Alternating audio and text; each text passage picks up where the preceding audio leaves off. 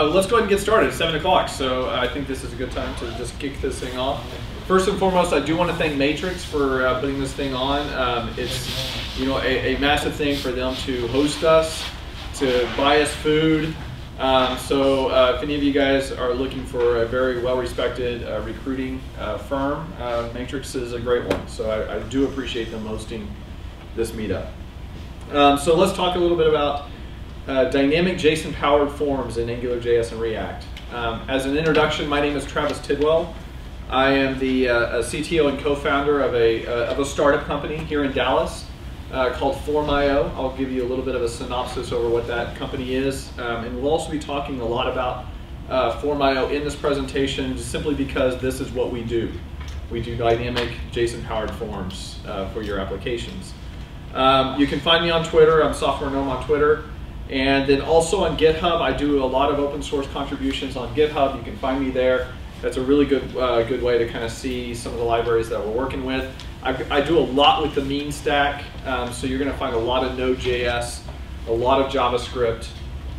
Pretty much everything we do at Form.io is, is mean uh, based. So it's, uh, we use Express, Node.js, MongoDB, all of the like, and we're never looking back. It's by far the best platform I've ever worked in. It's, it's amazing.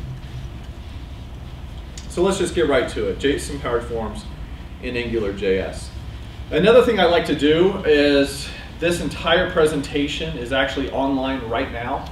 Um, so you can go to my, uh, my website, travistidwell.com forward slash presentations forward slash JSON forms. This is really good because I've got a lot of JS fiddles in here. And if you actually want to go open up the JS fiddles, um, that'll allow you to see the source code, see how things are working, and it'll also uh, allow you to, to easily see. So I know that this the resolution on this screen is not the greatest. Um, so if you want to just take a look at that, I know people are taking pictures of it right now. Go right ahead. No, it's totally fine. It, it's, it's, all, it's all available online, and you're given a presentation. Feel free to fork it and use this on your own presentation if you want to. The format, you don't have to, you don't have to talk about exactly what I'm talking about. Although you could if you wanted to. It's a different topic. Yeah, it's completely different, yeah. So let me tell you a little bit about Form.io. So we are a combined form and API platform um, for web developers.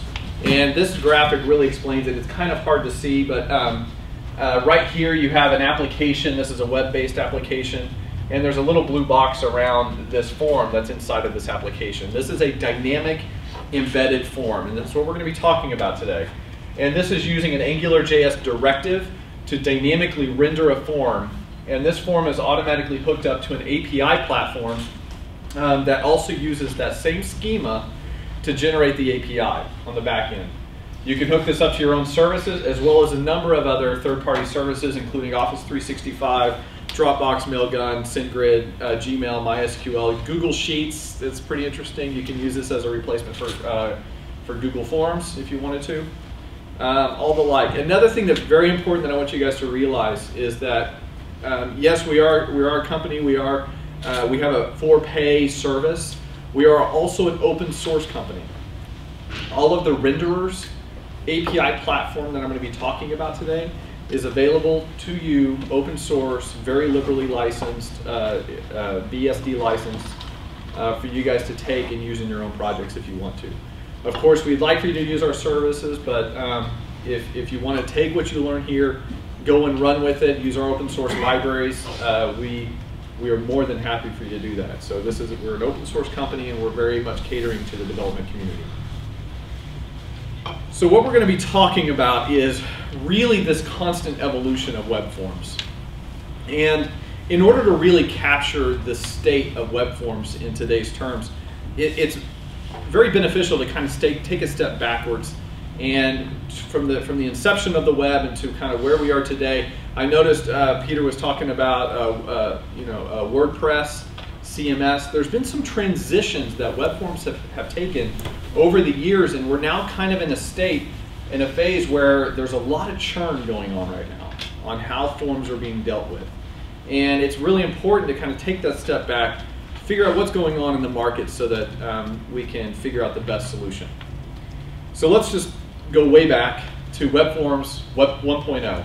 And this is really whenever the web was in, uh, conceived. The form element was, was created in uh, the HTML spec 2, I believe. which was 1995. And from that point all the way up until about 2000, um, there was really this, this static form system. And I know that's really kind of hard to read. This is a JS Fiddle, so if you're looking at this online. Question? Do you think if we dim the lights in here a little bit, we can see the... We could probably dim the lights. Let me just do that real quick. Um, don't want to do that. Um, do you know where, where to do, there we go. Is that better? Uh, Yeah, Sure. I like that. Is that too, is that too dark? Is that gonna throw people off if it's that dark? Feels like my office. If, if I hear snoring, I'm gonna turn the lights back on. Let's just, let's just say that. Natural habitat, right? Yeah. Yeah, I know. um, it's very intimate. It's like, I, I need a glass of wine now. Um, so WebForms 1.0. So this is built with the static HTML web web pages. Um, it's hard to read, but this is a JS fiddle, so go and take a look at it. Here's the form element. Uh, right next to it, you have this action keyword, and then uh, then this is actually pointing to a backend service. Back whenever web was 1.0, this action was really it, was it was almost kind of like the W3C committee just punted and said, "You guys figure that out. All we're doing is providing specs for the the form up front." Inside of here, you have a lot of input elements as well as submissions. The result would actually look something like this, although this is way more beautiful than you would have found in Web 1.0, uh, simply because we now have Bootstrap and all the like, and I'm actually using that because if you don't use that, forms just kind of look ugly. So um, this is what it looked like. So this is the static HTML website. There is one major takeaway that I want you guys to take away from this, which is back in Web 1.0, the way that this worked um, is, is definitely something to take note of, which is you would have the, the, uh, the application here, and here you have a form. And whenever you would go to a website, that would actually send a request to the server. Inside that request, you would have uh, what file or what HTML file you're actually requesting. So this was a GET request, and I want to I want to go to the create.html file. The server would then actually look in its file system, find that HTML file, and hand that to the client in, with the form included. It's a very important thing to take away because that's kind of what's changing in, the, in today's terms that we're trying to address. Uh, we had that one-to-one connection based on the request and the file that was actually retrieved. From that point, templating, uh, a lot of people figured out that, hey, you know, from the server's perspective, I can take that request, execute some logic to actually build this thing dynamically and hand that back to the, to, to the client so that they feel like they're requesting an HTML file, but what's really happening from the server's perspective is that's at going in and that's executing some PHP. PHP is then going and talking to a MySQL database or whatever database you want to talk to. And from there, it quite literally constructs a form, dynamically builds the page, and then hands that to the client. This really started sparking another evolution of the web. It was actually given a label, Web 2.0. And the reason why this was given a name was because now the, the web became dynamic. Users could contribute to content of the web. And out of that, really sparked this next generation of web forms. And where web forms were now not this, this static thing that you, that you write inside of HTML, you use back-end logic, back-end PHP, or whatever server language that you want to use to really construct the forms. And I do want to mention that this is still the major majority in today's terms. If you're going to go and find a job out uh, developing for some company, this is what they're doing today. One major takeaway still is even in today's terms, the user is requesting the interface from the server. So the server is responsible for handing the user and saying, this is the interface that you need to use to, to interface with me. That's one really important thing to take away from this discussion because all of that is kind of being flipped on its head right now. And that's really what I want to talk about. So let's talk a little bit about Web Forms 2.0, 2000 and today. Out of Web, uh, Forms 2.0 came this major movement where these frameworks started coming out of the woodworks. You have Symfony, you have uh, Drupal, you have WordPress. I'm kind of anchoring to Drupal right here because that's my background. excuse me. That's what I know a lot of. In fact, I, I came from Drupal. And, but Drupal, in my mind, represents everything that's in the market today, what you find, even in Node.js. Uh, uh, Sails, uh, you were this, uh, mentioning Sails. Sails is even this way. And Sails is a very modern framework where these are, these are back-end frameworks that have these mechanisms for dynamically still generating content and handing it to the user as an interface. And in fact, Drupal came out with a their own schema definitions for forms. And I don't know if any of you guys are familiar with other backend frameworks, but I, I would be willing to bet a lot of money that every framework on the market has some answer to dynamically building forms on the back end using some object schema. Um, you know, like Symfony, like you're, you're building an array, a, a, PHP array, and that PHP array is to represent the form on the front end. Drupal, Drupal has this. And it looks a little bit something like this. PHP kind of makes me like twitch a little bit now, even though I wrote this for many, many years. Is that seven code? This is seven. Okay. Because eight's Symfony. Eight's different. Yeah. However, eight still has this this paradigm, and the paradigm is is that you're building the form on the back end. The back end is constructing the form, and that form is then handed to the user. And this is this is what everyone deals with today. In fact, there's really nothing telling people otherwise.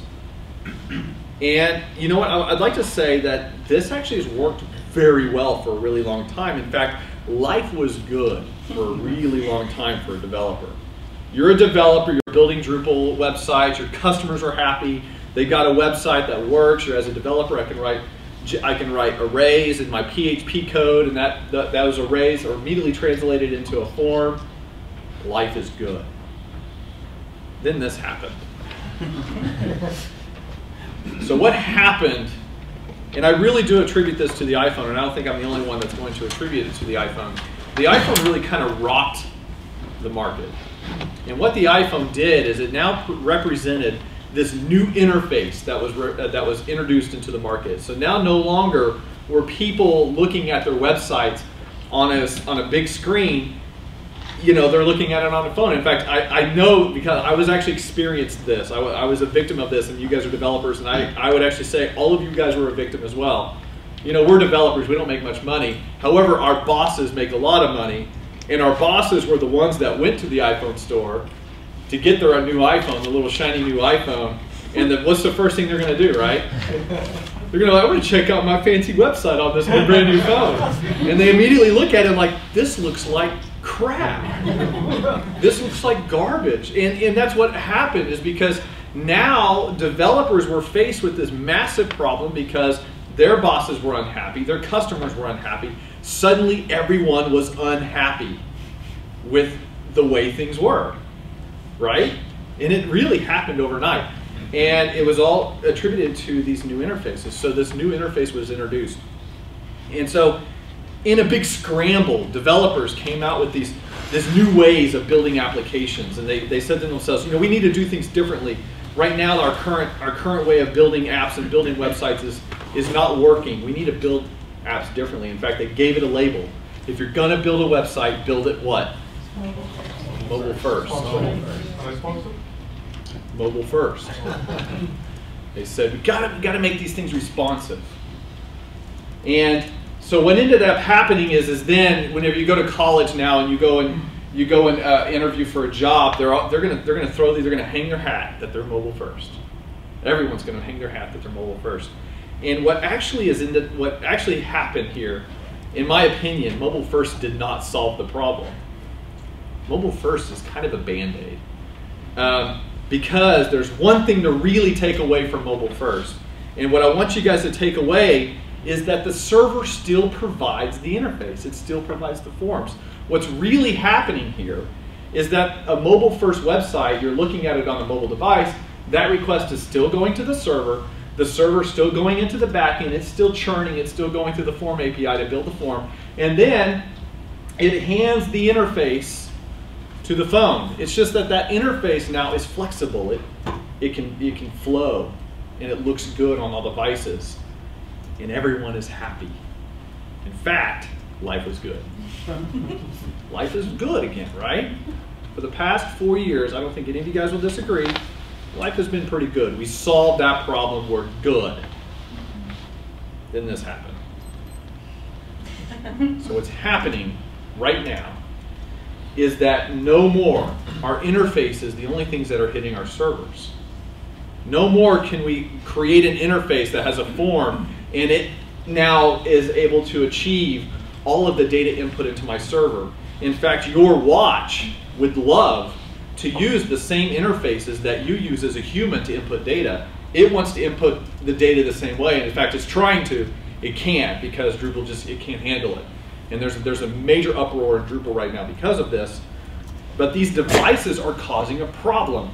No more do we have to cater our interfaces to human interaction. I want you guys to put that in your mind. Humans are now, will probably very, very shortly in the future account for one fifth of your traffic. And because humans are slow, we're just slow compared to machines. Your, your Fitbit, your, your Apple Watch is wanting to submit data five times as fast, and guess what? It is wanting to use this thing called an API. And because we have built our entire systems, our structure of our servers, and the way that forms and the way that data works on this old paradigm that the, the server is responsible for basically creating the interface, we've locked ourselves into a, a system that does not cater to APIs. Um, how many of you have built APIs in your system, but the API logic is completely separate from the form uh, handling logic? It, it happens a lot right now. And the reason why you have to do that is because we are trying to essentially retrofit this API thing in, in, in response to have also needing uh, form submissions. So we have ourselves a problem happening right now. But there's a solution. And the solution really starts with the forms.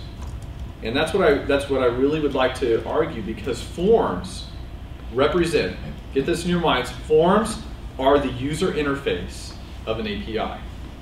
If you were to, to construct an API and say, I need a user interface for this API, that UI is a form. And I don't think it, many of you will, will, argue to that. A form is a way to input data. It's a way to actually get, uh, get that data into the system. So let's talk about web forms for the future, which is called uh, Web Forms 3.0 with this movement, and this, this movement has actually been labeled Web 3.0. A lot of you probably have heard that, that tossed around right now. This movement of this, this, this shaking of what's happening in the web. In fact, there's a lot of frameworks that are just cropping out of the woodworks because of this. AngularJS is one, and I will talk a little bit about that, and I'll talk about React as well. These frameworks are coming out of the woodwork because of this, this new Web 3.0 mandate, and that applications now must be made differently. There has to be a total separation between the front end and the back end, where the front end uh, uh, application must only communicate to the, to the back end via APIs. And I know this is a bold statement, but mobile first is no longer good enough. And in fact, we really need to kind of rethink how we're building applications. And what I'd like to propose is that instead of mobile first, we need to start thinking API first. Because API first actually puts you in the mindset that what really matters is that your, your server becomes this API engine and everything on top of it is the app. And it creates this total separation between the application and the back-end API server. And I really believe that that's, that's where we need to go and where we need to move. So let's talk a little bit about what API first development uh, means, and I, I will get into JSON powered forms, I promise you. Um, have to get off my soapbox first. Um, so the first thing you need to do is you need to build your REST platform first and your API platform. You're also, your REST platform must be stateless. This means you're not, you're not storing cookies and session and using that cookie to establish session. JWT authentication has become a really popular thing these days. It's something we use at Form.io. It provides a very stateless way to, uh, to manage users and scale as well. Your first app should be an API test. and applications must only use those APIs, including forms. This, um, So why API first? The answer to this, I believe, is that it forces us to develop websites like web applications, and I would like to for us to start using those terms separately. Many, for many years, developers would build a website and they're like, yeah, I build web apps. And I think there should be a very distinct difference between a web application and a website. Website is when the server sends the, the website to the, the user's interface. A web application is this thing that exists all on its own introducing AngularJS. This is what that framework means. So there are a lot of platforms that are API first. A lot of things you can use today. We have AngularJS, React, Ember, Backbone. I, I wanted to put Jekyll on here because Jekyll, in my opinion, represents something very interesting, which is static site generation. Have any, have any of you guys dealt, uh, done much with static site generation? If we want to have another session over that, I have a lot of experience with that as well.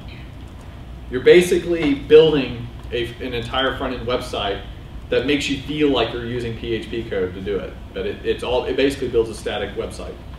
And then of course Ionic, somebody mentioned that they have an interest in Ionic. Ionic is actually Angular themed for the mobile device. So now we have this problem. And the problem is, now that our applications are completely separated from the front end to the back end, we now kind of have to go back to our roots, right? When you're building an app now and you want to build a form, you have to go to the HTML docs. You have to go to Bootstrap and say, how do I, you know, I have to build an HTML form. And I, am just going to say it, but the good old fashioned way sucks.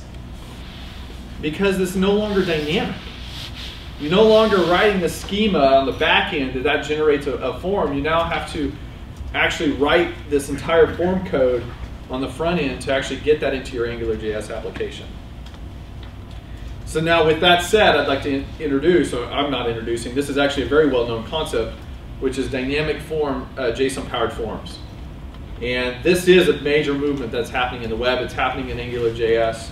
And um, it's, it's very clear that this is the solution for these type of web applications. So it all really means that you're taking this form definition, this form schema, and you are now letting the client do it for you. So with the Drupal API, the form API, what it was doing, it was taking this PHP array, and that PHP array was defining the structure of the form.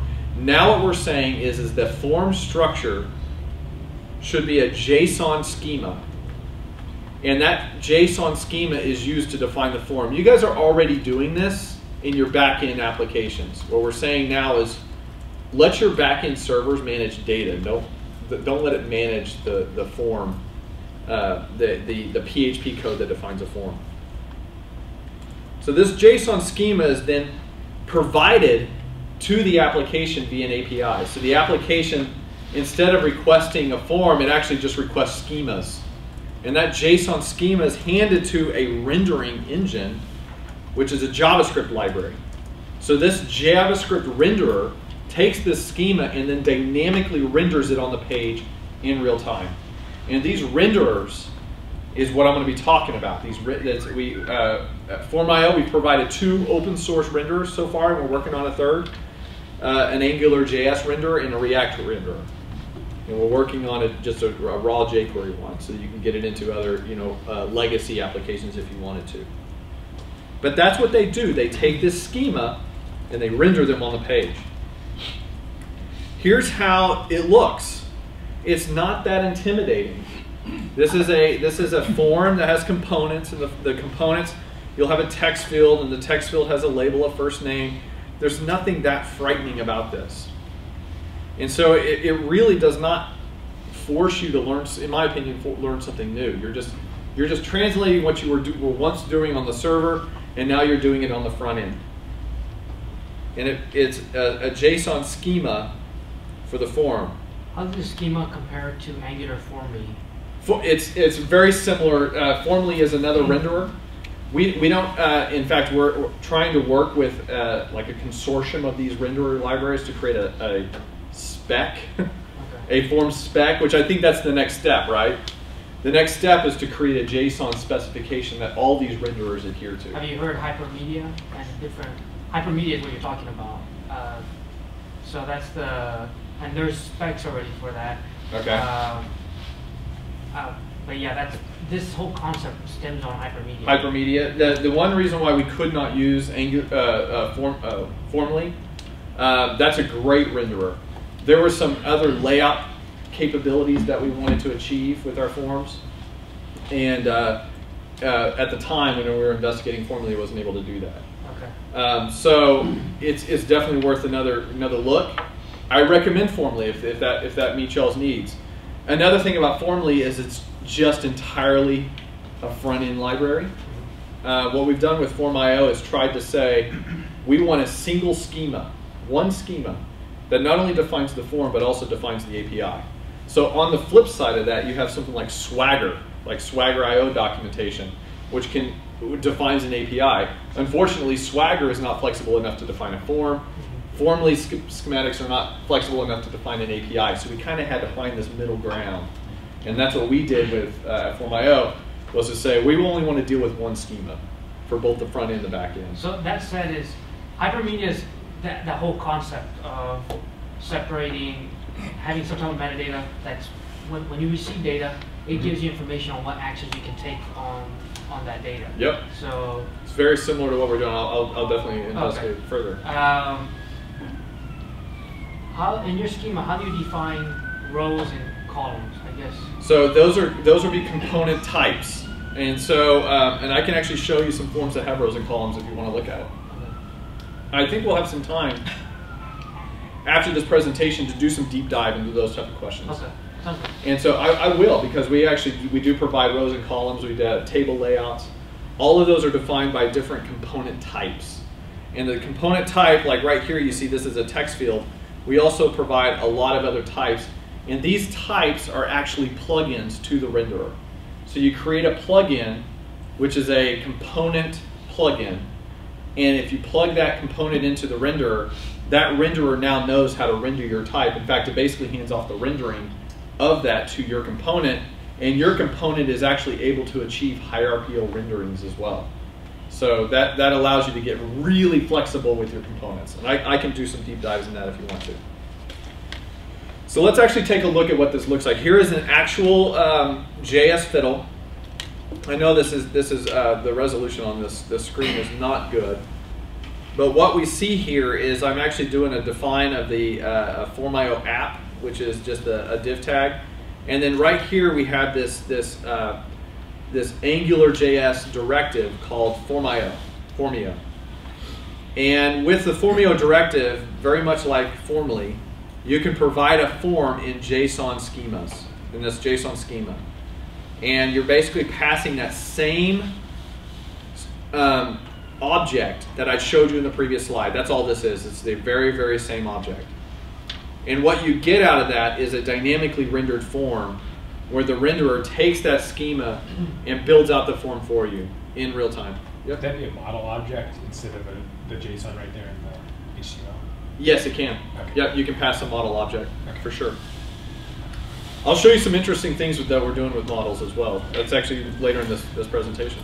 You had mentioned you were talking to, are you actually talking with devs on the, the other renderer, like Angular Formly? Are you So I've. I've uh, had some emails go back and forth between me and the Formly guy. He's very interested in coming together to form a, Schema? a schema Okay, a, a, that we can all agree to. Um, it right now the way it, it's going to work is you pick a renderer that you like best And you learn their schema? and you learn the schema. The schemas the schemas for the most part are fairly consistent. Um, but we, you cannot hand our schema to a Formly renderer and it, and it, it won't know what to do with it Okay. and vice versa. We, we're, we're not compatible with Formly. Um, so I, I think you guys get the point. We take this JSON schema, hand it to the directive. The directive then dynamically renders uh, the form. So now I know what you're probably thinking. Okay, this is great, but now I have to build the JSON schema, which is also a pain. So everyone is basically saying that, and, and even Formly has this problem. So now you're still dealing with this this major schema that represents your forms. And there's a lot of forms where it's not very practical. You have massive forms uh, for uh, you know, medical records, and you have uh, forms for uh, sales opportunities out in the field. These are forms that have a lot of components to them, and to be able to try and manage that via JSON schema is actually not that great, which is really where Form.io comes into play. So what Form.io has done is we've created an open source form builder. This form builder is also open source that allows you to drag and drop components onto a form via drag and drop interface. And that actually constructs, the form builder's main objective is to create that JSON schema. It builds the components, everything in a, in a, in a visual way. In fact, I can just show this to you really quick. So I've got, you know, a to-do application. Let's say I want to just create a, a customer contact form. So I want to just basically say I want to collect first name,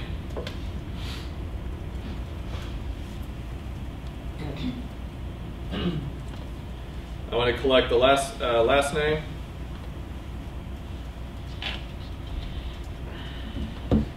You might want to collect uh, email. If you're writing this JSON schema by hand, it would take a while. But this is just easy. We also provide validation, so you can say I want this to be required, unique, min length, max length. Uh, some of these require the backend API to um, allow, so required uh, you can do on the front end, but unique you can't. You just cannot do unique because you're doing a lookup against a lot of records. Um, and then let's say like a text area. So right here, I've actually created a form. And if I were to look at the, uh, the, the actual API, which is right here, just open up another tab. This form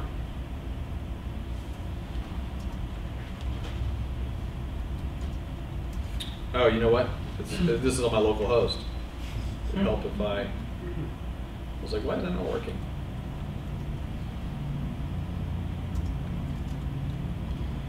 That form is actually a JSON object. And that's what the form builder does, is it builds that for you. And that form builder that you just saw, you can get this into your own application to provide form building capabilities into your own application. So there's a lot of apps that you guys might be building where you, you want your customers to build their own forms. You can do that with Form.io. You can hand this off to somebody else. You as a developer don't have to worry about forms anymore. You could a business manager could, could easily handle uh, form building and form management in your organization. And you as a developer, you're happy because now you've got a schema that you can work with. And this schema can be loaded into a front-end application, handed immediately to a renderer, and the renderer just automatically renders it. And guess what? As the form is being changed, not only is the API being updated automatically to handle the new schemas, but the front end automatically updates as well. Because every time the form renders, it's actually going out to the API, this API that you see right here, and loading the new schema.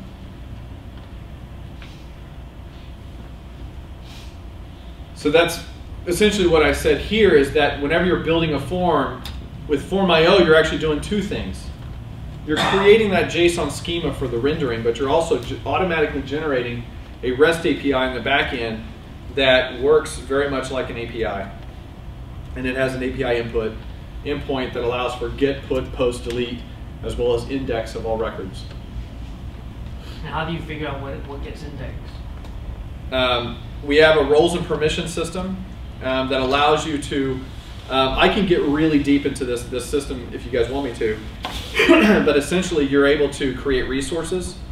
So, for example, a user resource, and uh, you can also create other resources uh, like customer. And each each record inside of this resource becomes an object that's assigned a role. And you can have a user login form. We also provide OAuth capabilities with all the OAuth providers. Um, can you can you back up a little bit? I can. Okay, so you're talking about the the web forms, HTML. I, I get all that being open source, but the backend API is this open source? The backend is open source as well. Let me let me show you the, the, the URL so you guys can go there.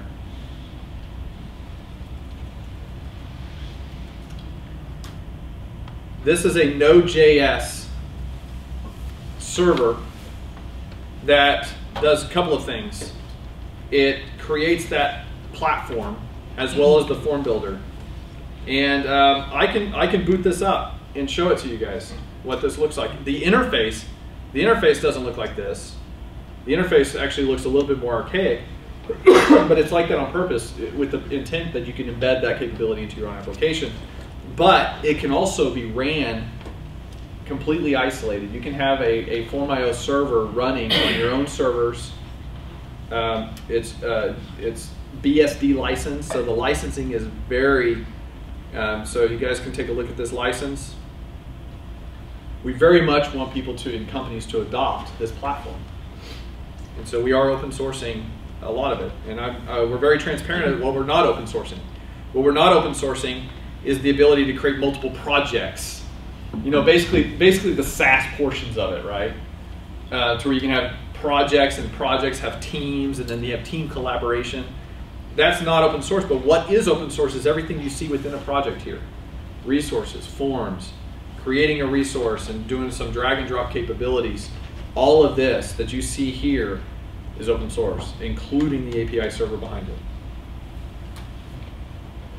So I see, I see a lot of conferences now that when they want to create a CFP form, they use Google Forms.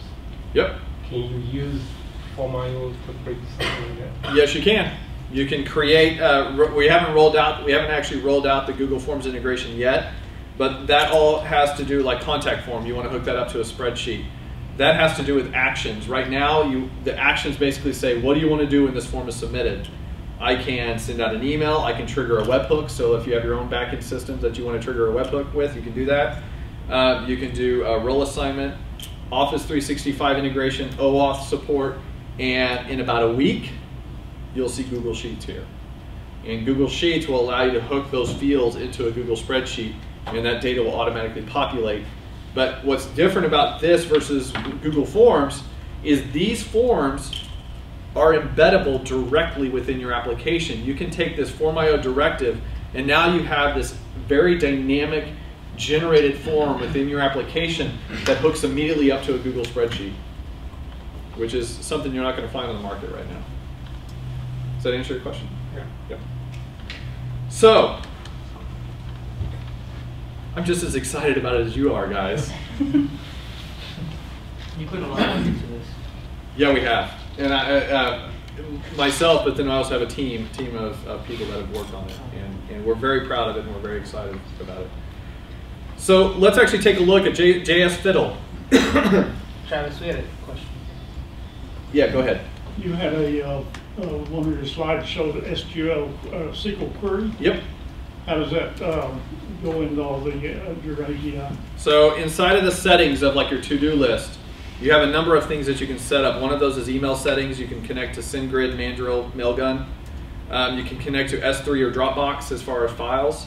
Um, I'm going to get to your question here in a minute. Um, databases allows you to actually put in your host credentials of a database and then execute customized queries based on the form that's coming in.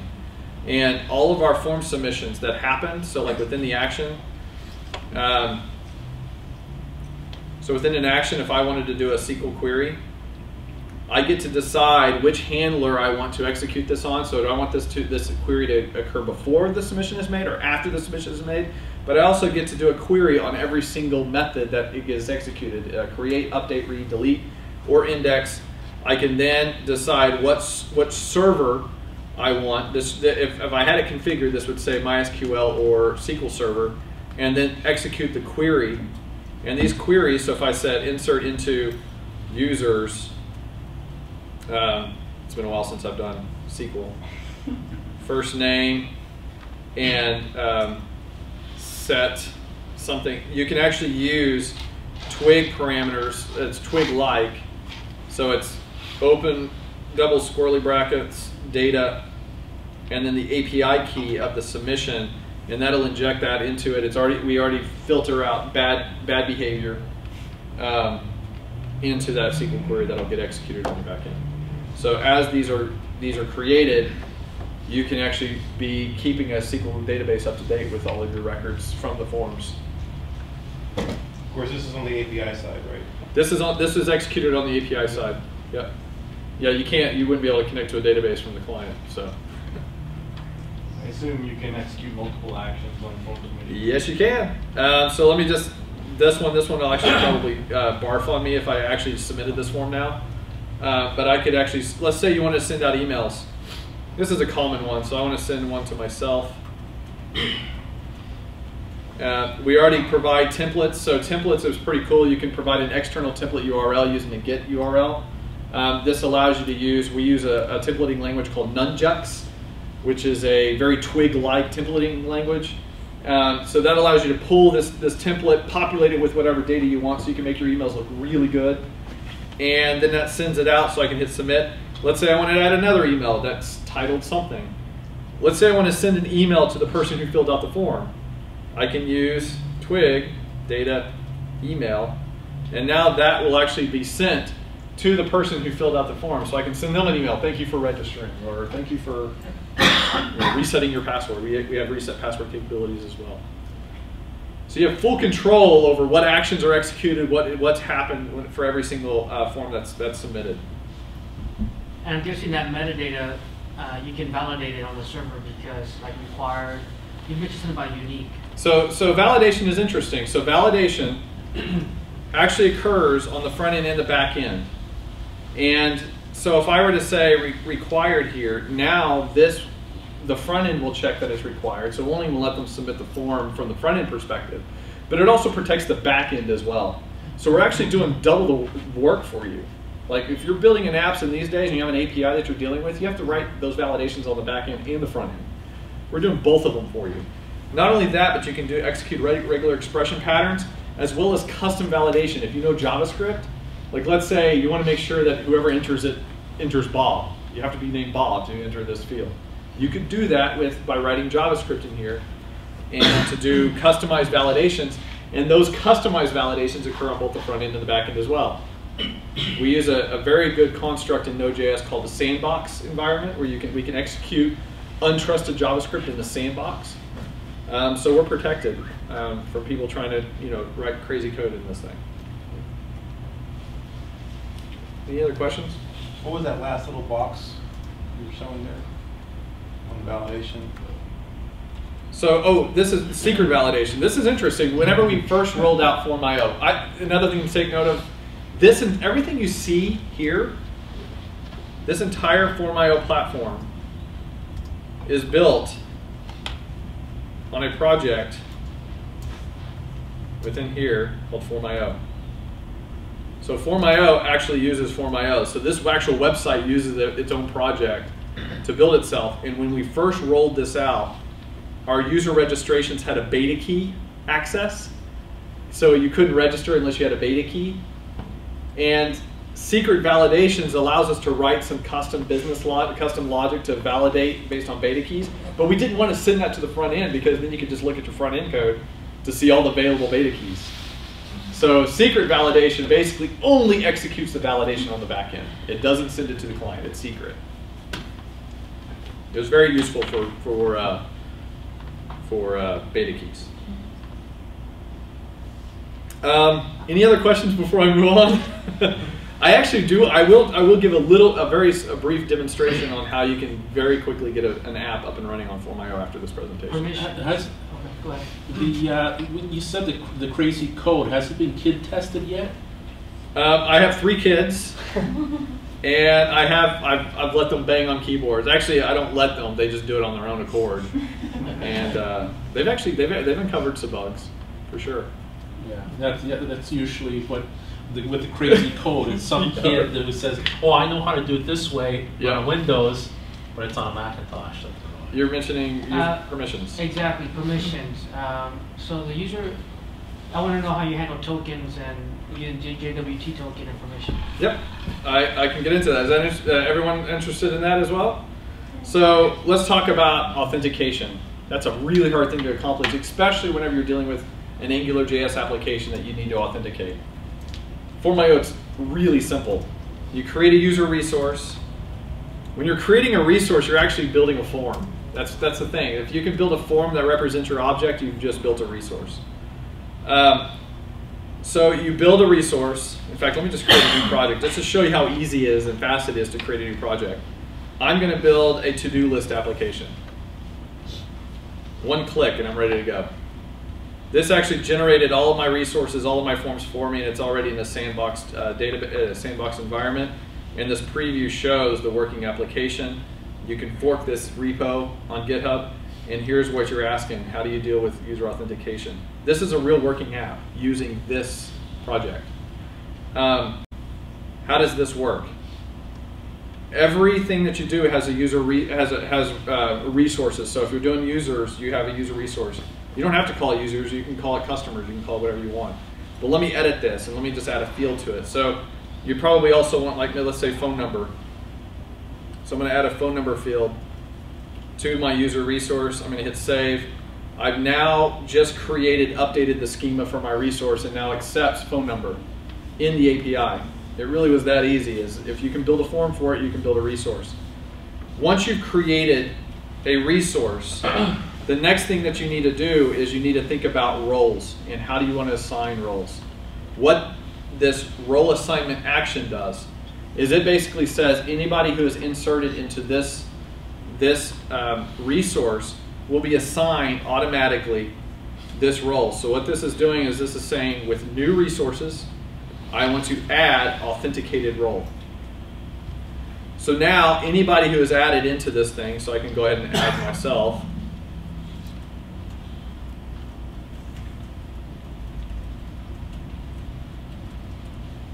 So I just added myself. I now, this record that you see here, has Is that Kendo? this Kendo data grid. So all of our all of our uh, data APIs are Kendo data grid compatible. You can just hook it right up to a data grid, and you can put that in your own app as well. Um, so all of these records immediately have that. And let's let's talk about where the roles are assigned. So you can actually create new roles for your application by just simply going into the roles section of your settings. So let's say you wanted to just have something like a sales agent, and sales agents only should have permissions to see these certain records. You could add that here. Once you actually have a resource and you have them assigned a role, you can then decide what they have access to. So for example, I don't want, um, I do not want authenticated users to see my admins. I want to lock that down. So inside my admin resource, I have permissions that allows me to have full granular access on a per resource basis on what roles have access to what. So read all submissions, update all, delete all, create own, read own, update own, delete own. Um, we kind of uh, come from Drupal, so if any of you guys are familiar with Drupal, this is definitely a nod to Drupal's roles and permission system, which is probably the one of the more robust roles and permission systems out there. Um, so that's how we modeled it. Uh, now, talking about authentication. Now let's say, now that I've got a user resource, I need to create a form, as you see in this preview, this dynamic form needs to be able to authenticate the user. So if I create a new user here, this is actually a working application.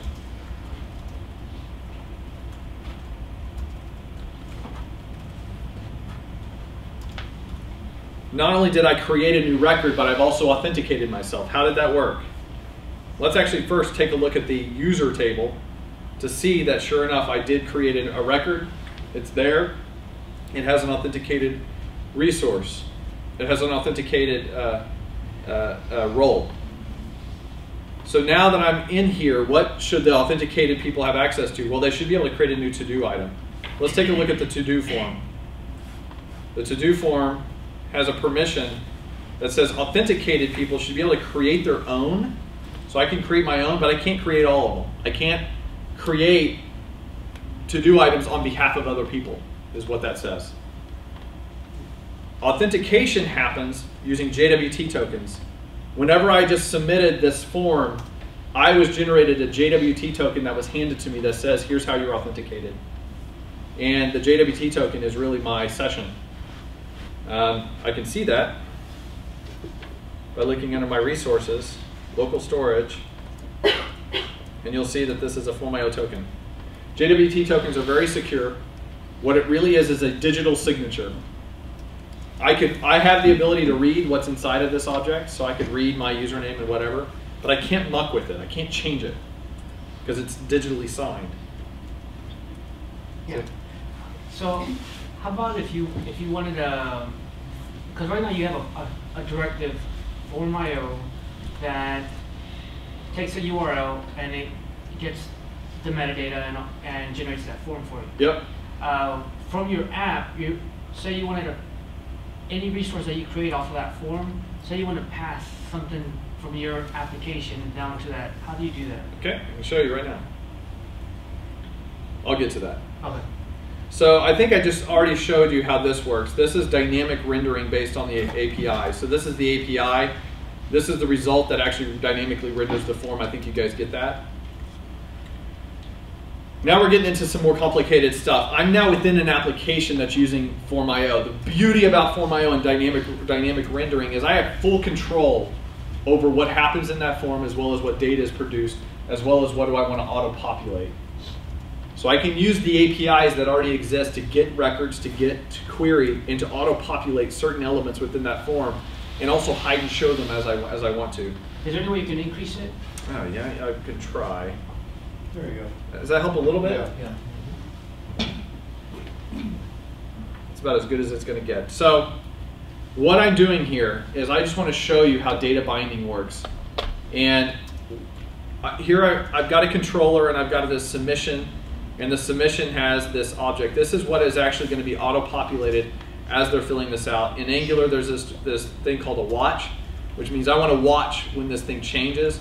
And I'm using this library called JSON view to show uh, what, it, what it looks like.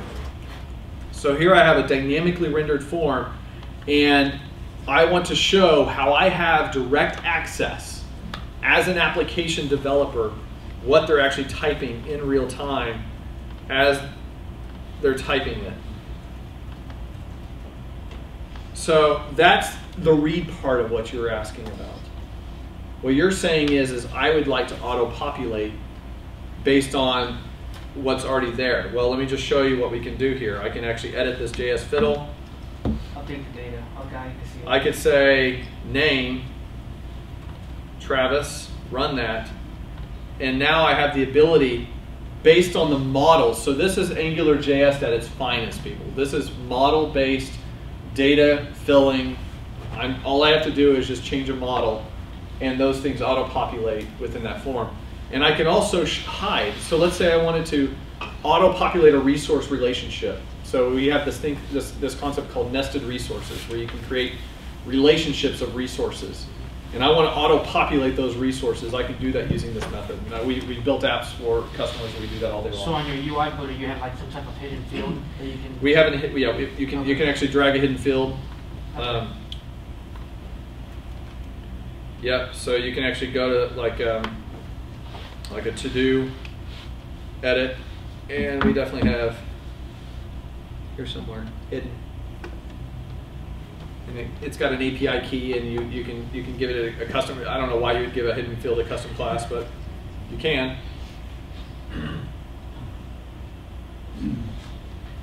I guess the other thing would be how do you handle layouts, and so that you can have columns or rows. Yeah, you're going to love this.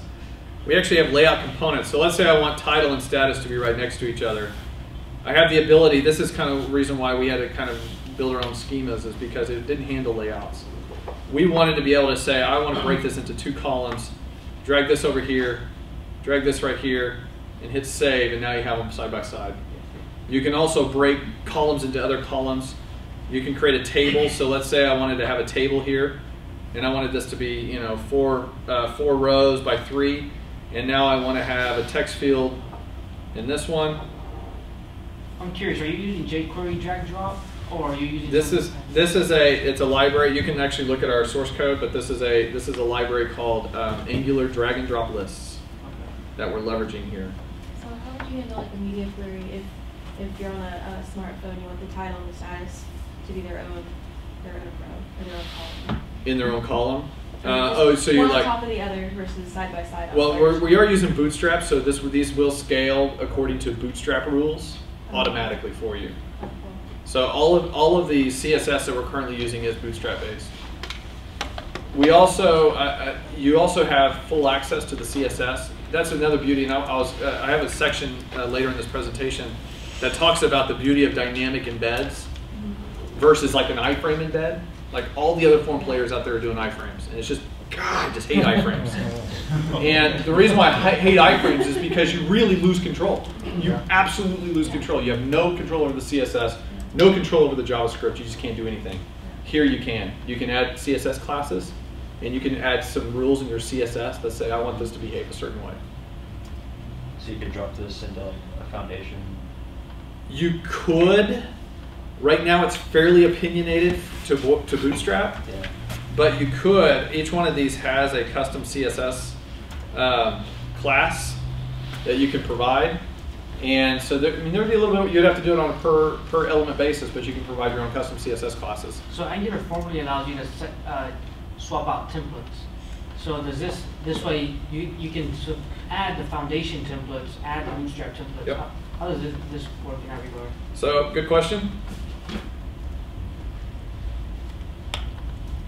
So inside of the our Formio repo, you're going to see this thing called Form, uh, ng Formio. This is our renderer, and all of these have a uh, components. So here are all the components that we support. We support a ton, uh, but just to give you an example, uh, like FieldSet. FieldSet currently uh, uses this thing called a, it uses a provider, a component provider, and a component component provider not only allows you to register your own components, it allows you to duck punch existing ones, which is what I think you're asking for. In the, in, in the sense of I want to use my own template. So here's the template, which is Formio components field set. I could change that to something else. Exactly, okay. Here are all the templates. Um, so like, you know, just like panel, as an example. Here's the panel um, component. It's just HTML. You can easily create your own your own um, uh, component template and just say I'm going to use this one instead. And the renderer will happily do that for you. How do you handle conditional form elements so that if based on the model? I'll show you. Um, Randall's one of our senior architects. He's also a um, he's also a JS Fiddle uh, fanboy. So conditional fields. What I love about our platform is we give you control as the developer. Here we have the Form.io up here, and down here we have a controller. And what we want to do is we want to hide and show certain fields based on what they select here. All we have to do is watch for the field, and based on that, hide and show certain elements based on what they're actually uh, selecting within the within the form. Okay, so this isn't schema based and this is uh, custom logic that. We don't we don't have it. the the problem with conditionals is those become very opinionated very quickly. Agree. And and what we wanted to do is provide developers the tools to be developers. We want you to be a developer and, and embrace this product and not say you have to use our conditional schema generator Yeah. to, to do conditionals because conditionals can be very opinionated. You almost had Survey Monkey here. I did. Yeah. Yeah. this whole system you built. Yeah, I mean it's it. I actually feel like it's way more powerful from from a developer's perspective than SurveyMonkey because you really can have control over what you're doing. and have full control over it. And we have a lot of these JS fiddles, and um, if, if we, we're trying to update our help docs to incorporate all of them, uh, but right now our help, if you go to help.form.io, um, we, we incorporate a lot of these JS fiddles inside of our uh, documentation. You know, like, uh, does your form.io directive expose its controller, kind of like ng form? You can get access to controller uh, methods, like uh, Yeah. and that type of stuff. So what we do is we've actually built a core library. Or is So- service? Well, the problem is, the thing is, is, and I haven't even talked about React.js. We have a React.js renderer. Okay. And what we wanted to do is create a core library that both React and the Angular renderers use. And that's called Form.io.js. And this is actually in, a, in an Angular, it's actually a, a, a, a service. But this actually gives you full access to all of the backend APIs. Um, there's a number of things here. So like here's the a Form.io class, or you know, class-based JavaScript, all of that. So yes, you can. We haven't written much documentation over that, but you can. Great questions. Um, how are we on time? Are you guys okay? Are you guys falling asleep yet? Do I need to turn the lights on? We could, So I've it's got a, I've got What is the path for the, the slides, actually? Uh, it's travistidwell.com.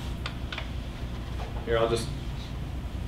Who are your biggest clients using this? So right now, I mean, we're very new. I mean, we, we've we've uh, been live for about five months now. Okay. So we do have customers. We have some paying customers right now. The majority of them are um, are uh, manufacturing service-based customers. That uh, one one customer is using us uh, for their field technicians out in the field, and they they wanted to basically build an app that is form-based. Does a lot of forms, and they wanted to basically manage those forms and have APIs on the back end. And so that's one customer. The other customer that we're we're allowed to talk about is Boardman. Boardman out of Oklahoma City is a manu- manufacturing company that does manufacturing for very large pressure vessels, and they have a sales force out in the field. And these sales force reps, they wanted them to have uh, tablets for them to input sales opportunities. That's uh, one of the projects that I, that I just showed you. So how does it handle offline then? Uh, we have a plugin called Offline Mode, and it basically uh, plugs into the. Uh, it, it essentially hijacks the HTTP directive within AngularJS and makes all of the the directive feel like it's online when it really isn't. And it's using a a cross-browser local storage solution to to queue up all the records, and then we have a queue dumping mechanism to where once you go back online, it starts emptying the queues of requests and when it hits an invalid request, it shows that because it has the schema for the form, Yeah. it shows the form and says, "Hey, there was an error here. Fix it." And they hit submit, and then it just continues emptying the queue of submissions. We, we have a very robust offline capability. Uh, it's right here. There you go.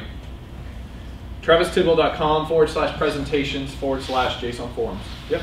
so if you have the API created, is this a one-to-one web form to API, or is the API able to be consumed in different ways? The So- yeah, so that's a great question. The um, from the form and our API perspective, it's one to one. However, we have webhook capability, and the beauty about webhooks is it basically triggers off another message to whatever it would be like a uh, you would have another system um, that's handling the requests, and it could actually have and define its own interfaces, and and you basically get this request, and then it can basically process the request uh, independently via webhook.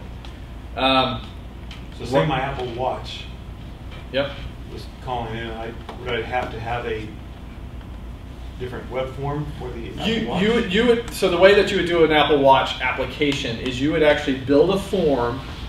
If your watch was a person and was filling out a form, so let's say it's doing like heartbeat. Imagine your, your watch was a person and filling out a heartbeat five times a second, right? This is the heartbeat, heartbeat, heartbeat, heartbeat, heartbeat. That's an API call, but at its fundamental level, it's a form. So you build that form, and immediately you would have this API that's available to you that you can consume with your, smartwatch via REST APIs. Every, at, at its most fundamental level, we are an API platform. We're an API platform that has a form component on top of it, which we believe it makes us very different from anybody you're going to find on the market. But uh, my question still is, I have an API and I'm used to API creating several different web forms that hit it for different scenarios. Does this still support that or? It, it would create a separate API. And to answer your question, we have one-to-one connection between the form and the API that it generates.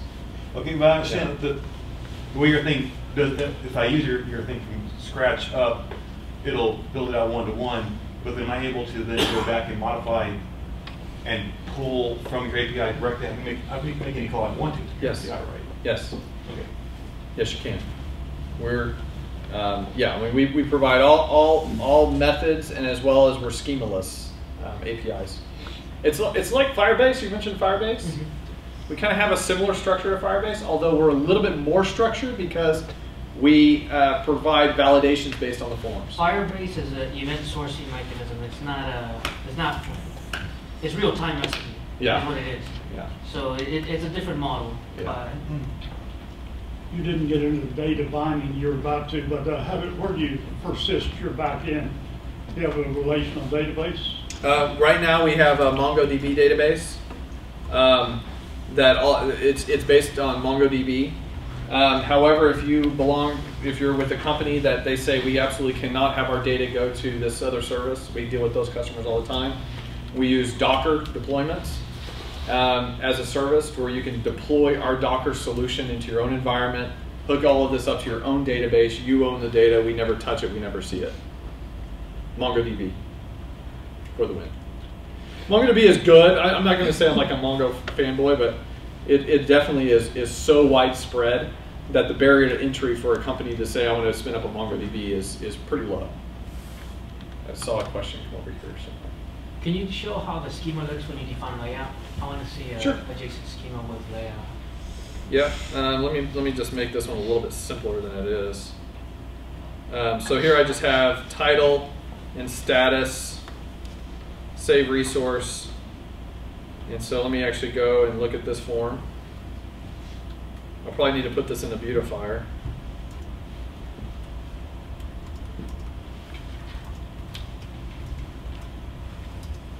Give me a second to put that in the beautifier. Or install Chrome extension to beautify. Yeah, I know I should, right?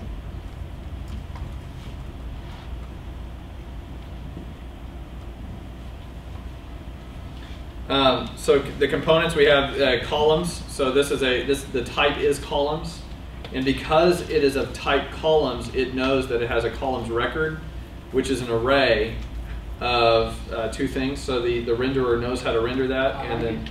huh? I like it. Cool. That's how you're solving it. Okay. So it's the recursive nature of your controls. Yeah, the, the, everything's recursive. The the uh, the columns, all it knows how to do is make columns. It doesn't know anything about the fields underneath it. But it basically says, I know how to render columns, so I'm going to render columns. I'm going to hand off the what, what's rendering within me to basically itself, which Other goes directives, yeah. other directives. Okay. Yeah, directives. They, they essentially know how to render themselves, and they don't know how to render anything else. Okay. Good questions. Um, do we have time to talk about form embedding? Because I can get on my soapbox again about form embedding. Yes. It- Before I do that, does anybody have any other questions so far? I saw you were using the Form.io as a URL in the sort of in your application where you're invoking. If somebody doesn't want to use the Form.io and directly want to use the JSON, the output JSON that you're doing, I love this question. He's saying, I noticed you're getting your schema from Form.io, but that's just a JSON schema. If I just want to just install it as a file on my own server, can I Mm, yeah. have the And if I'm in a corporate network, I don't want to go off. If I just want to just have maintain my schemas via Git on a you know and have have GitHub have my schemas and render them from GitHub, yes you can. Our renderer does not care that these forms are coming from form.io. All it cares about is that it's a JSON schema that meets the criteria that knows how to render. So you, yes, you can take that schema, you can put it in a file and store it in a CDN if you wanted to. And then if that is that's the case, then it goes back to his question. I'm in my life cycle of my application. I make some changes to the JSON schema. Now that's up to you. Now how do I get back? I mean, am I always supposed to come as a top down to? So, so with, with great flexibility comes great responsibility. Um, we, uh, I recommend using a, a tool called Gulp, which if you guys want another, if you guys want another uh, a good session to maybe talk about, Gulp is a good one because I love Gulp. Uh, but Gulp would be able to help you there because Gulp would say, hey, I want to Gulp deploy this thing. And when you type Gulp deploy, you would basically take, query the, J, the new JSON schemas, and then push that out to whatever CDNs you wanted, and it would do it from the, via single command line. By the way, talking about CDNs, one very interesting thing to note here is that now we're getting to a time where applications don't need a server to exist. In fact, if you go to form.io, our entire app that you see here is hosted on a CDN. The whole app. There's, it's, it's CDN driven.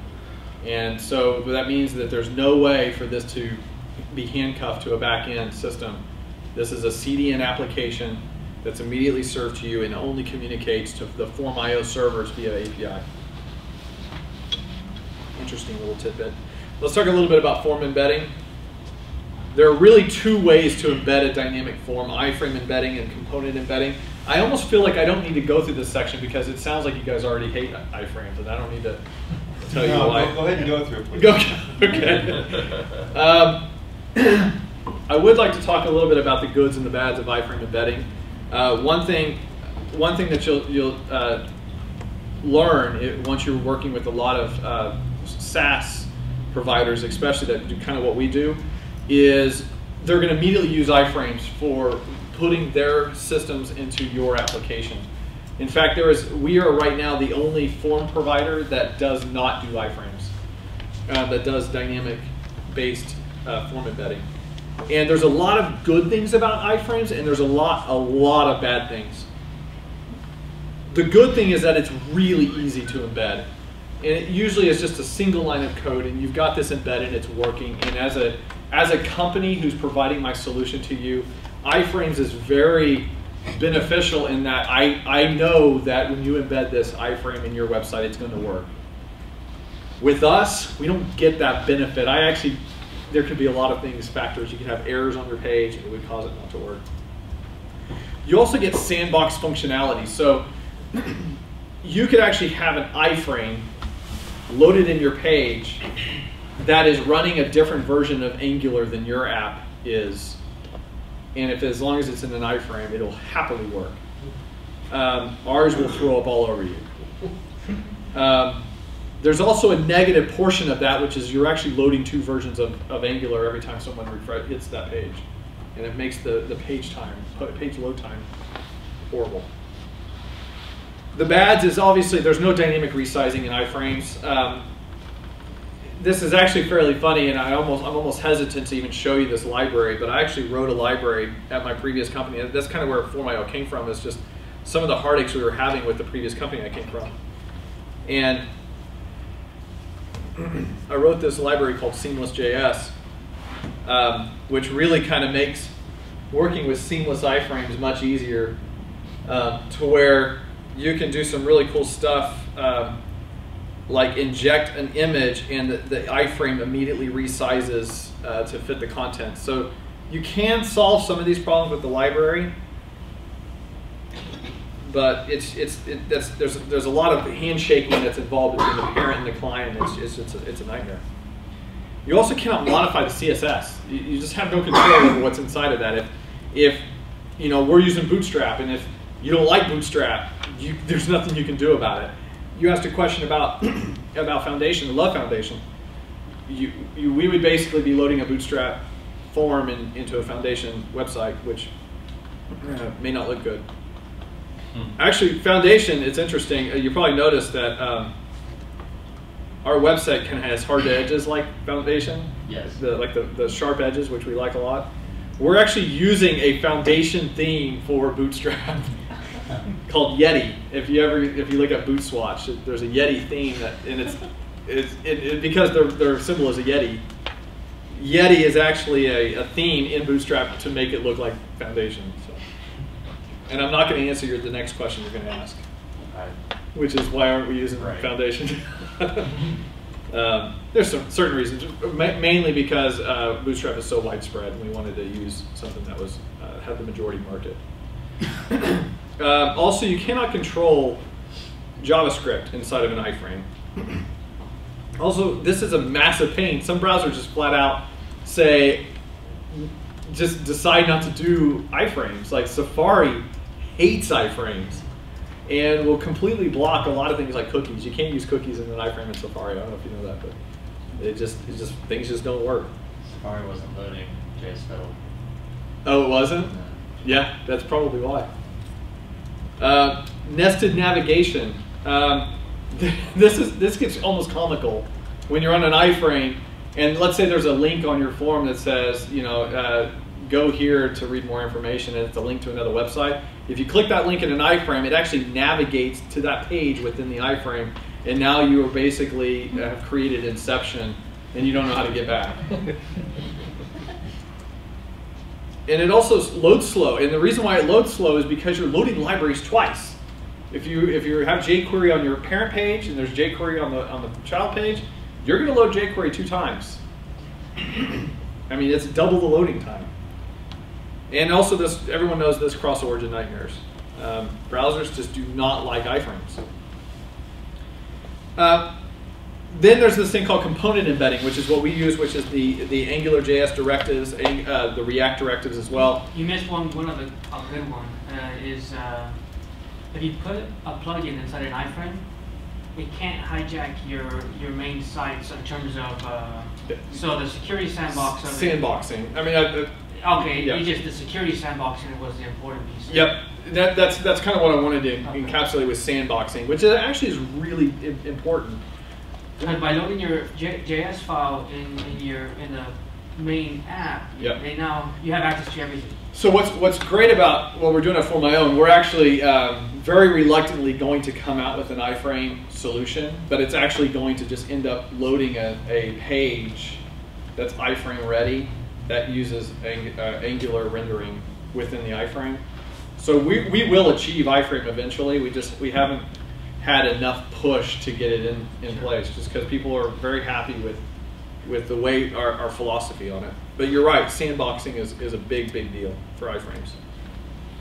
Uh, component embedding, the goods and the bad. So the goods for component embedding obviously is this direct DOM injection. And what you get out of that is dynamic resizing as the form elements populate the inside the DOM. The DOM adjusts. It's not dealing with an iframe. It just things you know fall into place around the, the form. Things just work. You have full CSS control, full JavaScript control, much faster loading, direct API access from the application, which also is a big deal. Um, you know, you, you what I was showing you earlier, where you you want to actually hit RESTful API requests, and then from those REST APIs auto-populate items in the in the form. You just cannot do that in iframes. The bads is it's hard to embed, and, that, and that's one of my, the biggest drawbacks to using Form.io is um, it, unless you know unless you're basically uh, spinning it up and under you know uh, determined dependencies. Like right now we're Angular 1.4. If you had an Angular 2.0 app and you try to use Form.io, it wouldn't work. Um, that's why we're going to come out with an iframe embedding, but also we're coming out with different renderers for that reason as well. Well, I'm wondering with your current com- component embedding, I mean, you can steal JSON tokens from a, a major app, you know. So With yes, but the renderer is a completely open source. You're not loading anything into your application that isn't a complete BSD licensed open source product. Uh, it's a it's a renderer. Yeah. All you're really putting into your app is a renderer, and that renderer is available open source. So you you'll you can see the source code. We're not. I agree, you're not doing nothing malicious, but it, it's just in theory, Yeah. yeah, that's that's what could happen. Yeah. Um, it also requires this dependency alignment that I was just kind of referring to. You kind of have to be aligned with the dependencies in order for things just to kind of jive the way they're supposed to. Um, so here's actually how component embedding works within Form.io, and this is for AngularJS. You, uh, you can create, at the very top of your file, you can use Form.io-full. Um, if you already have Angular in, added to your page, uh, drop the full, and that'll only add the Form.io component uh, pieces. Um, but in order for that to work, you have to make sure you have your AngularJS already in the app. Um, and then from there, you can just uh, declare the Form.io, and then from that, the Form.io comes alive, and you can point that to one of your forms that you've created, and it dynamically renders. I mean, it's it's it's about as simple as we could possibly make it. Um, we try we were trying really hard to make it uh, even easier, but it's it's just yeah. Quick question, the CSS, does that come with, you know, whatever? Or do you have to define the CSS outside of it? Um, I actually did a good question. I actually didn't include the CSS for some reason, but Form.io actually also has a CSS portion to it, uh, which is just the form um, additives on top of Bootstrap. So right now, if you just included Bootstrap and included Form.io.js, your forms would look great. So if you just have Bootstrap and then this, you're you're good. How do you deal with uh, like CSS resets? So the outside website has some weird class overrides for the bootstrap stuff. Yeah, yeah, we don't. I mean, it's uh, that's you know that's, that's that's component embedding for you. It's you know, I think every everybody who comes out with an Angular directive has that problem, and I don't, I don't know if there's a way to solve that. Yep. Does uh, Form.io have its own widgets, or do you use uh, components of uh, other JS libraries? Good question. We we leverage uh, highly uh, supported uh, components, like our datetime component is uh, pulls from the Angular datetime component. Um, we use UI Bootstrap for uh, some of our uh, components. What Um, about, what about uh, trees, um, tree grids, grids. The, those are actually surprisingly easy because that's just bootstrap tables and bootstrap uh, columns, grids. And so we're actually able to achieve that pretty easily using uh, leveraging bootstrap without using any outside libraries. Um, I was going to say, oh, uh, some of, some things we use are, um, are, are like JavaScript libraries. Like for example, if you wanted to add a something I even did, didn't even do, like like the signature component. If you wanted to collect e-signatures, this signature component is actually a JavaScript library that does Canvas signatures. That's awesome. Yeah, and, and it actually, what I love about this signature component is it stores it as binary.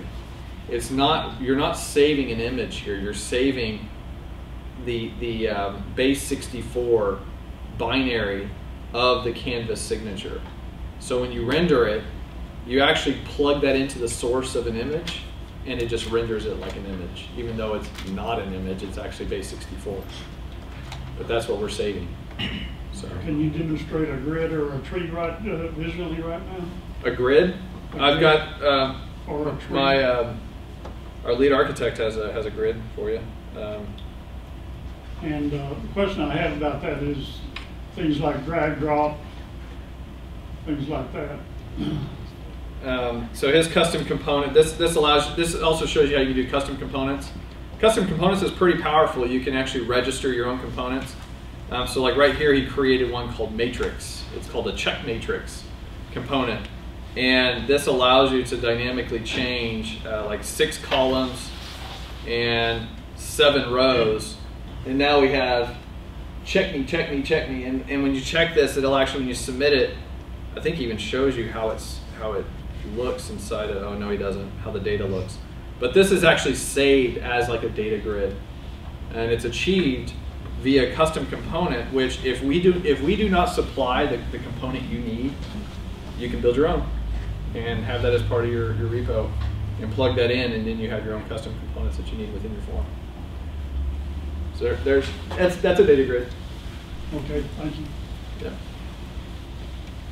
Uh, so React is, I, I'm not a React guy. I, I love React, but um, I didn't implement our React renderer, but I wanted to show this to let you guys know that React, we do have React.js support, so we have a renderer that'll render our forms in React if you guys use React. This is actually a JSON-powered form within my Reveal.js presentation. So this actually shows you a real live rendering. In fact, I can refresh this page and um, I may have made a mistake. There it goes. So this actually just rendered. Um, and you guys can go fill out this form. And not only will you get an email, so I've got some actions tied to the back end where I'll send you an email and say, hey, thank you for filling this out. But we get an email and this also goes into the back end. So I can hit submit there. Submission was created. We basically have full functioning dynamic JSON powered forms within a presentation. This is Reveal.js presentation. And you can tell by looking at it, this is not an iframe. And this also shows you that you have full control of the CSS because this form looks horrible. and, it, and, it, wouldn't look horrible if I would, if, if I had control over the CSS. You know?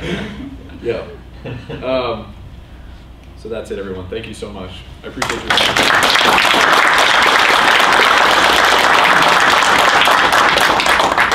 So I, I, I, will I would like to open this up for other. Um, let me just save this real quick because I'm going to put this on. Um,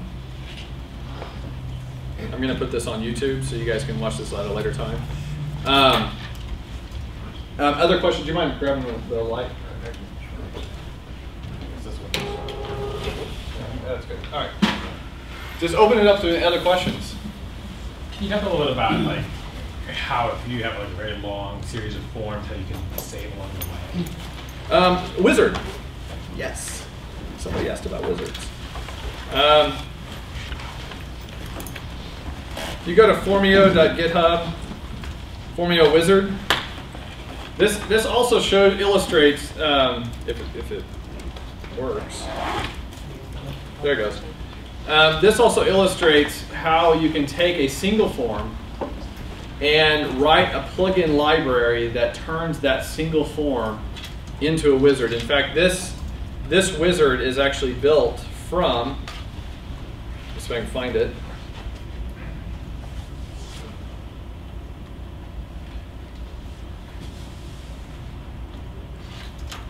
So this form right here, I use panels on the root, and all the panels on the root represent what would be different forms within the wizard.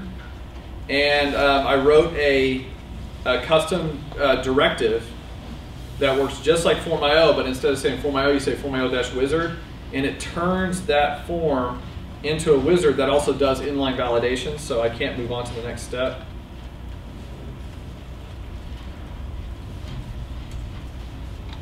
Until I actually fill this out, and then once I actually submit this thing, it actually submits as one single So submission.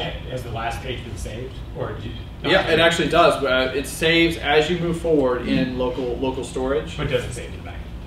No, no. Um, you can also do forms. Um, so just so you know, this is also open source. If you guys want to go to Form.io, Form.io Wizard, this also should hopefully illustrate how flexible this this system is. That we have. I just built a, a plugin that listens for the um, that basically renders um, each panel dynamically. And here you can see, um, here's when it actually saves the submission. Here's me saving the submission. So using the API to save the submission. Um, here's where I'm checking the error so I can actually iterate through um, the form, look at its uh, children, and just make see and just set the pristine to false, which will actually automatically validate uh, because it's no longer pristine. Um, and then here I'm actually embedding a, that form.io directive. So I'm creating it, and I'm I'm um, basically setting the, uh, the the next form object to be that panel. So whenever you look at these panels here, it's basically using these panels to step through the wizard. But even from a UI perspective, this is nice. I mean, this is to set up a wizard in this this way is is very nice. Um, so you actually end up with a very robust way to actually build wizards that aren't constantly hitting your servers either. It's not going to hit your server until they're done with the wizard. I'm surprised you did it that way and didn't use a custom type in your system. You, you could, so you could actually do it with a custom type. You can take all of that code that I did within this directive. I kind of needed something to wrap the Form.io directive though. I kind of needed something on the, on the outside of it to get what I wanted. But you know what? Uh, submit a pull request and I will, I will look at it. Go ahead. They're um, looking at the code. uh, They want to go um, using dollar sign scope. And there's a lot of movement to using controller as instead of. Yeah, controller as is an Angular 1.4 thing, um, and uh, I, I'm not well adjusted yet. so I was wondering if it was an intentional reason or just you haven't quite caught up with. all I mean, I've, we, we, we actually are Angular 1.4 compatible, so you you lo- lo- you can load us into 1.4 app just fine. Um, from from us as a development team, we haven't yet adjusted to that yet. A lot of things will be simplified if you move controller as. Yeah, yeah, you're probably right. And so that way you can use this pointer, right? Yeah. Yeah. Instead of using um, the the scope. It also helps when you look at the markup. And you're, you can figure out what, Yeah, this what is. controller is hitting what view model and all that kind of stuff. I'll say it again, guys. This is open source. Feel free to have at it. I will accept a pull request if you guys want to contribute to this project. Good. Um, So yeah. how many people are working on this project? I'm curious. Um, so I mean, that's all available on GitHub as well. So we have uh, right now. There's um, uh, one of them is a robot. this is our um the actual developers that we have at this point is uh, six developers. And uh, I'm curious, how many of those are? Oh, well, I don't know. Is, is this your company or? Is this some, uh, I'm a co-founder, CTO, Co- co-founder. and this was actually my idea. So Okay, how many co-founders are in that list? uh, we have two other co-founders, and they're not developers. They're not developed, okay. Yeah, one uh, other co-founder, uh, Gary Wetzel, he's a CEO. Um, was a was a Travelocity CFO for a number of years, very renowned CEO. And then Denise Kay is our uh, Chief Business Development Officer. So Okay, new company. We uh, we're uh, we've bootstrapped with friends and family money at this point. Um, so I don't know if you guys have connections to invest investors, but we are we are looking for investment channels at this time as well. Any other questions? It's good. Thank you guys, I appreciate it.